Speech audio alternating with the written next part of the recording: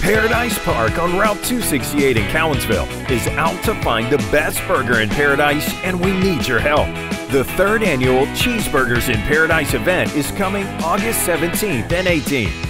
Come out and try the best burgers our area has to offer, along with overnight camping, a kid zone, beer, wine, and spirits, giveaways, and entertainment all weekend featuring national and regional live music and a fire show with Tuika's Polynesian Island performers. Admission is only $6. Kids 12 and under are free.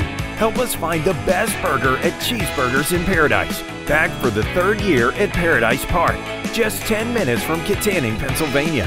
Come for the burgers, stay for the entertainment, as we'll be rocking the Paradise with a tribute to Styx Saturday night. This year's lineup brought to you by Iron City.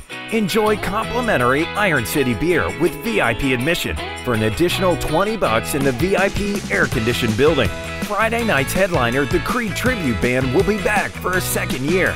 But come early because the Bombers take the stage from 6 to 8 p.m. with their down and dirty rockin' blues. Saturday kicks off with a full throttle band at noon.